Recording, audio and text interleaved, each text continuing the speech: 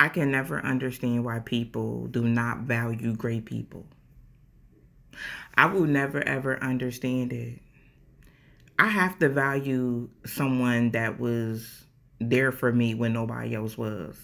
I have to value people that bless me when I don't even ask. I have to value people that pour into me. Let me tell y'all something. I had I got a text from somebody that was like, Shalakemia, I'm proud to be your friend. I never in my life heard that before. I just had a celebrity reach out to me. I'm humbled. I'm humbled in a whole different way, in a whole different light. That's why I said valuing people is so important.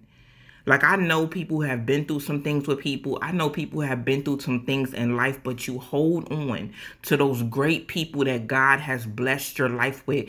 There are great and amazing people out here. And let me tell you something. And when you experience them, baby, Please don't feel like something's wrong.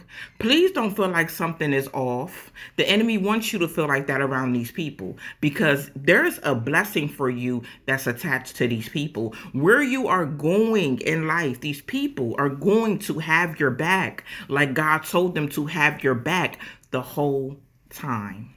I just want to share that. I said what I said. And my name is Shalakemia.